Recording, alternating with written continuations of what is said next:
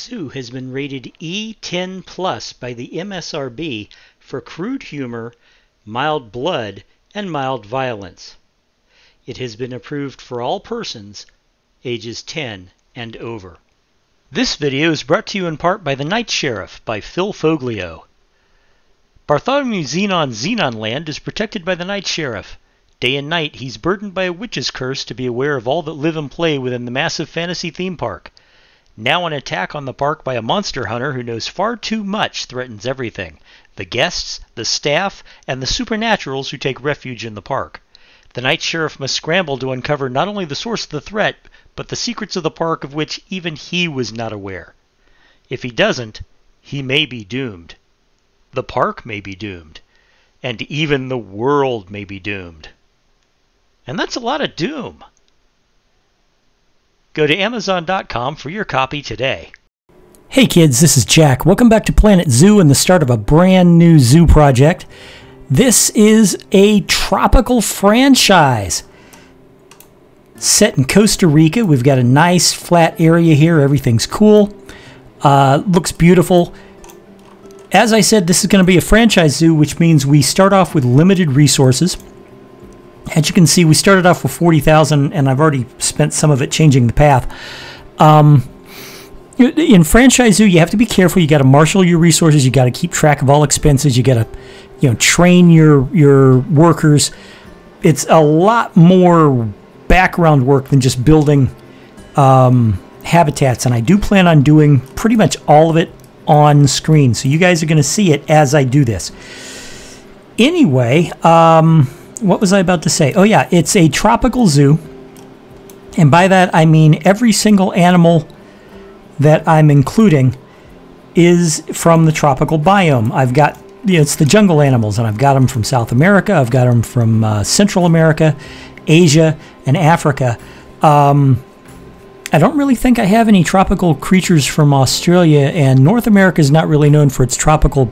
Uh, I mean, yeah, Central America, but you you get what I mean.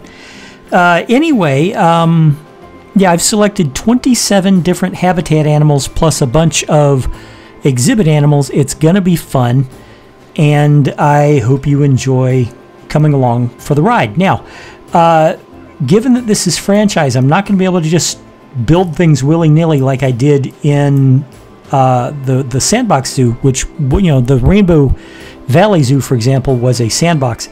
Um, I'm, I'm not going to be able to do like I did there, where I just, oh, I want to build something, fine, I'll build it because I might not be able to afford it.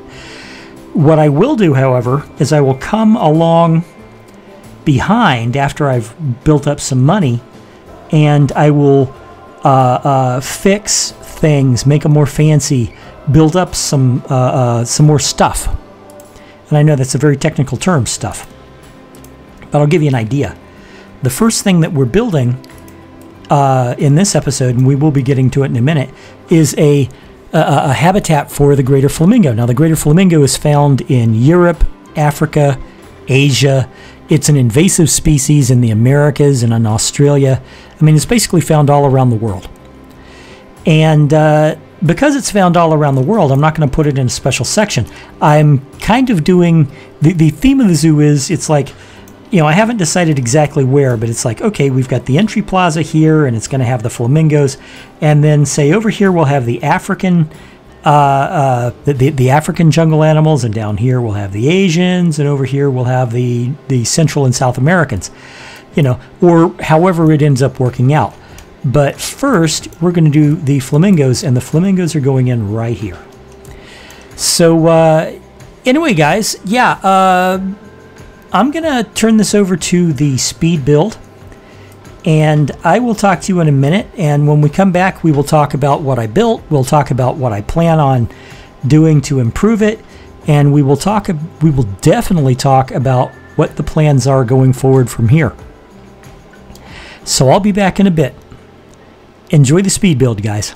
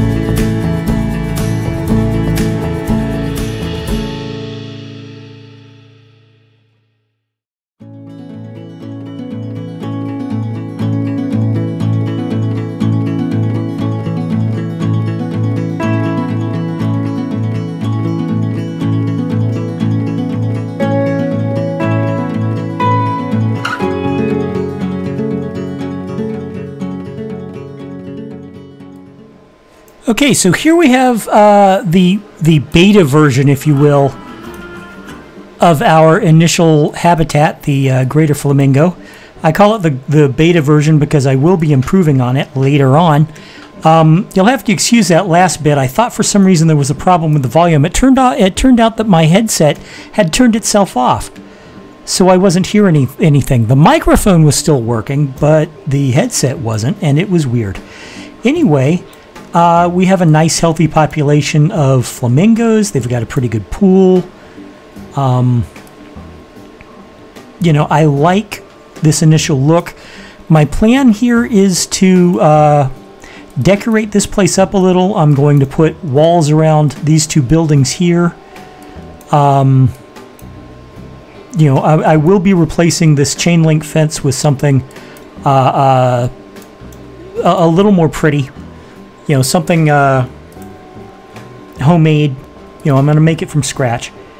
And uh, you know, I'm basically, uh, I'm also probably going to add some more plants to this because I like the look of it. This is a nice, uh, a nice uh, uh, habitat. I could very easily see it being in a real zoo. And, do we have a youngster already? Did they, did they uh, actually have babies already? Yes. How about that? in the time it took me to finish the habitat, the flamingos have reproduced. That's a good thing. That means they like their habitat. I'm going to put some more um, lily pads over here. At least that's what we always call them in Florida. We get we, we have these things all over Florida, and uh, you know we, we just call them lily pads.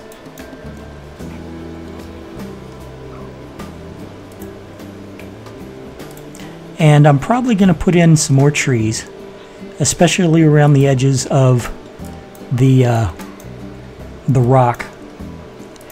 Um, my other plan is I want to put uh, shade. Oh, look, we're about to get a class. I want to put shades along the the pathway, and of course, eventually we're going to put um, so, some uh, uh, shops, some bathrooms. We'll continue the path around. Um, as I said, there will be three basic sections to this um, to this zoo. Now, it's going to be uh, Central and South America. It's going to be Asia, and it's going to be Africa. I have not yet decided on what we're going to do next, but I'm thinking it may well be Africa. Um, African animals are popular. You know, African uh, uh, jungle animals includes like the gorilla. So it would be pretty cool. I do not know yet what the next um, what the next animal is going to be. I'm you know I'm sorry I can't just tell you what it is because uh, I'm still deciding which one I want it to be. But um, it's off to a good start. I like this. We are making money. Um, not much, but you know, we just started. So, uh, ah, and there we go. Um, I'm also going to put a cover on uh, on the educate. I'll probably use the very same cover that I used in the uh, uh, Rainbow Valley Zoo. I like that cover. It's a good cover. Um, I'm also going to cover up the donation bins and you know, where I didn't really need the donation bins in the Rainbow Valley Zoo, the last zoo, I do need them in this. So I will be using them extensively. Um, but yeah, I'm going to remove the clanky fence and replace it with something scratch made. And it's to look pretty good, if I do say so myself. Um, oh, that's something I think I can take care of right now. Hold on a second. Yeah, look at the heat. It's 108 degrees out here. Well, what do we want? This is South, uh, Central America. So let's do this.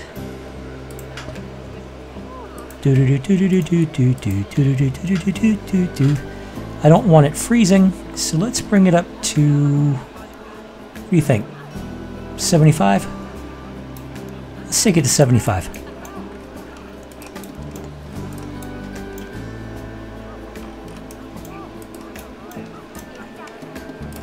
And then I will move this so it's about there. That's kind of central located. Yeah. We'll do it that way.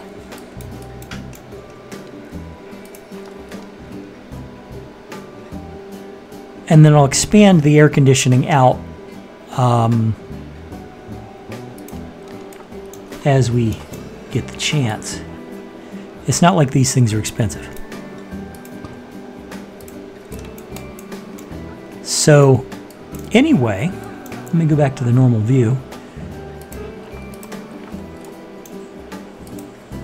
This is the traversable area for uh, for the birds. This is everywhere they can go. Everywhere that's blue, they can go.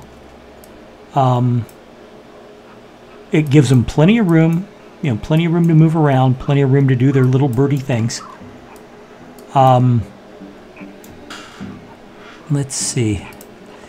They're all in good shape. People, for the most part, are happy. This is early in the game. They don't have a lot of needs. Um, we have no crime. I do have a single wandering security guard. There he is. And I've got security cameras here and here. Uh, let's see. Education. Right here. Right. I forgot to put signs up. So you know what? I'm going to put signs up. Now, I will be building a frame, or I might use one of my blueprints. I've built dozens of these things, so I have blueprints for these signs dripping out of my ears almost. Um, you know, I will I will put up a frame.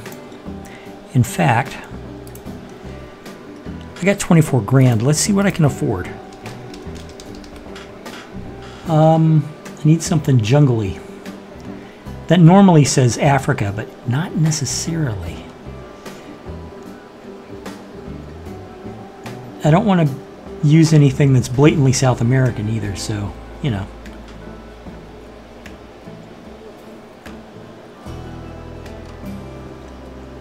What do I want? What do I want?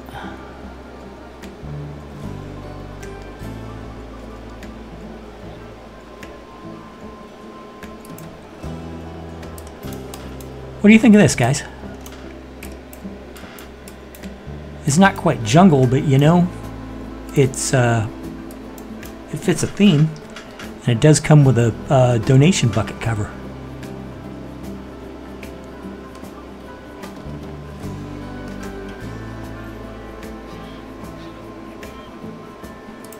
Anything in here? This is two grand. It's going to be expensive. These look all Asian.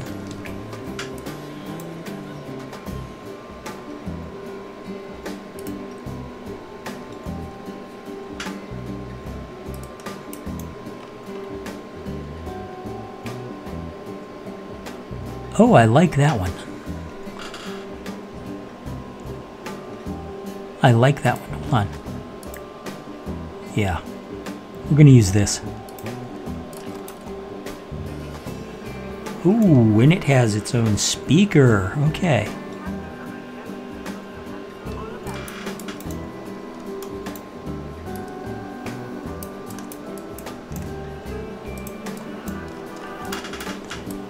Now, in the future, can you expect to see me build things in real time or, or, place things in real time like this? Yes. Yes, that's the neat thing about the uh, the franchise mode. I will be playing uh, uh, while you watch. I will try and keep up a running commentary. If I forget, I apologize. Um, a lot of times when I'm whoops, a lot of times when I'm quiet, it's because I'm thinking, and I just get into the zone. You know, I get it's like, oh hey, let's uh, let's do this. Let's build something. Let's let's place it. Let's do this. And I forget that I've got an audience because you know I'm having fun playing this game. I really enjoy playing this game. You know, as much as I'd like to to uh, uh, uh, flatter you guys by saying that the only reason I'm playing it is for your entertainment. The truth is. I don't play any of the things I play. I mean, you know, I, I don't want to make it sound like I don't care about what you guys think at all because I do. But the honest truth is, I'm playing for my entertainment more than I am yours, which personally I think is the right way. Does that have a light on it? Holy shit, it is a light. How about that? Anyway, um, if you're not playing for if, if you have a channel and you're playing games and you're doing it more for your audience than you are for your own enjoyment, you're doing it for the wrong reasons. That is my story, and I'm sticking to it.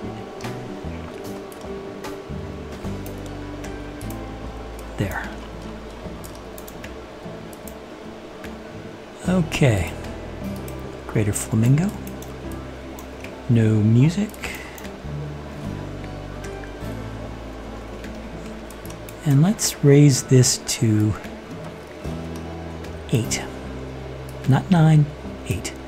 Because we're not going to put a ton of them around, but we are going to put enough of them around.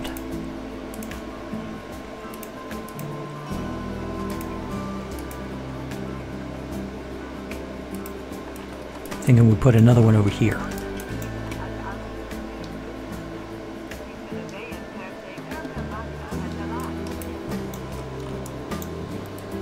Yep, one right here.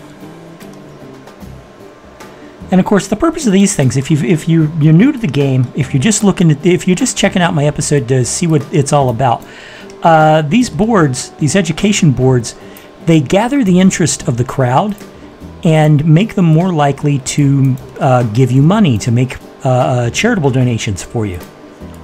So you want to put them around, but you don't necessarily need them in every square inch of the uh, uh, of the zoo. I thought I moved that. Didn't I move that? I thought I moved that. Oh well, you know what? It's okay.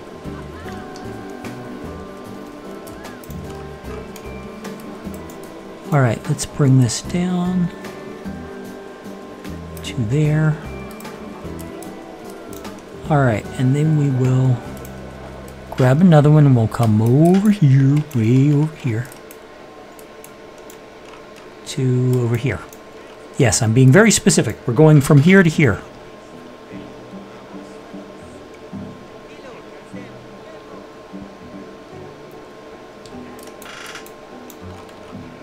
Okay, let's drop it just a little into the dirt. And we'll back it up just a touch. All right. While we're at it,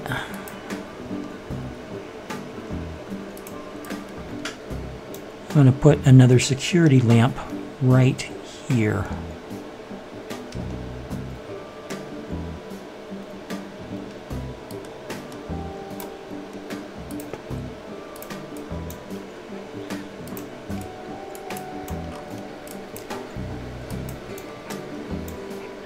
Okay, guys, well, this is about as far as we're going to go with this episode. It is nighttime, obviously. Um, we basically spent about 10 months in game time building this thing. And the zoo's doing pretty good. It's got 179 people, which is not bad for, you know, a, a starter zoo with one. Um, yeah, I forgot. I forgot. I need to get rid of these things. You know, for, for a starter zoo with only one habitat, 179 people is not bad at all. Um, you know, it, it looks good. It's a nice centerpiece. I have no idea what I'm going to do next. So if you're curious about what I'm going to do next, please stop by and watch the next episode.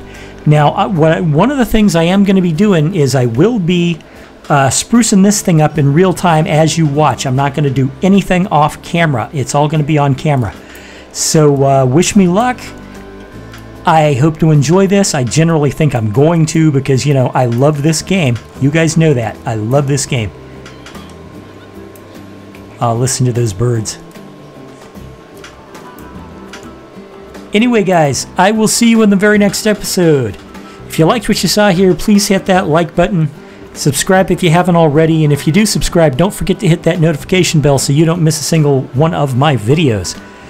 Let me know what you think in the comments below. I look forward to hearing from you, even if you know, even if what you want to tell me is that I'm being silly and this is a stupid game and that I shouldn't waste my time on it. I still enjoy the comments. Believe me, I had a guy once tell me that I was a quote unquote Walter Mitty for playing all these games. And you know what? Thank you for the comment, dude. You're not completely wrong. So yeah, uh, you know, join me next time. I'll have figured out what I want to do next, and uh, we will work to get a, a habitat together. I'll see you in the next video, guys. Bye bye.